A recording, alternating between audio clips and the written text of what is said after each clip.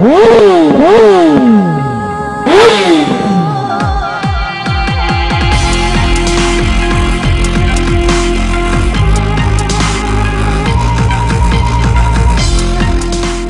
My best wishes for the entire team, and uh, they're going to participate in this Eco Marathon in Philippines.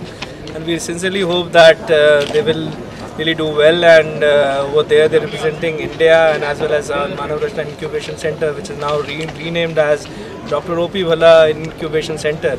And uh, I wish them all the best. And since his name, Dr. O.P. Bhalla, has been coined with the incubation center, his spirit is there with you to guide you and to support you and give you that winning thing in the end that will ultimately make you winners in the competition. Thank you. He had great passion for research and related activities. Uh, so the students uh, who have learnt a lot uh, through his efforts will naturally like to bring glory to this campus. I wish and pray that uh, they are one of the award-winning teams. My name is Karamveer Singh and I am from Team Synchromesh, uh, Automobile Engineering Department, Faculty of Engineering Technology, Manav Rachna International University, Faridabad.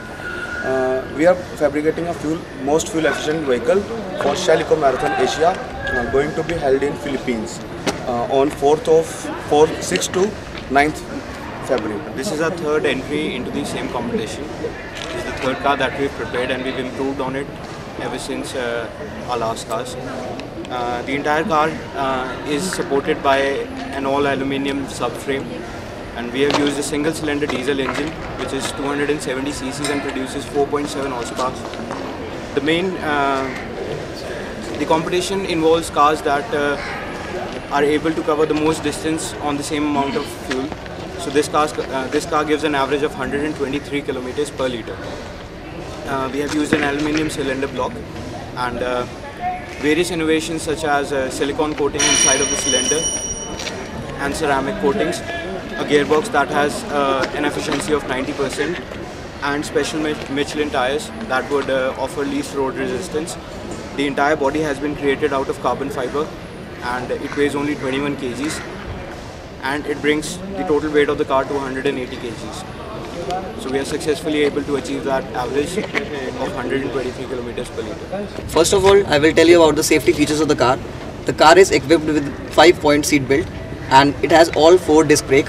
To start the car, we have an alcohol tester machine in which uh, if the driver has drink, have uh, drunk, uh, the car will not start. Uh, another safety feature will be smoke sensor in the driver ca- cabin. In case of fire, the smoke sensor activates and automatically shuts off the car.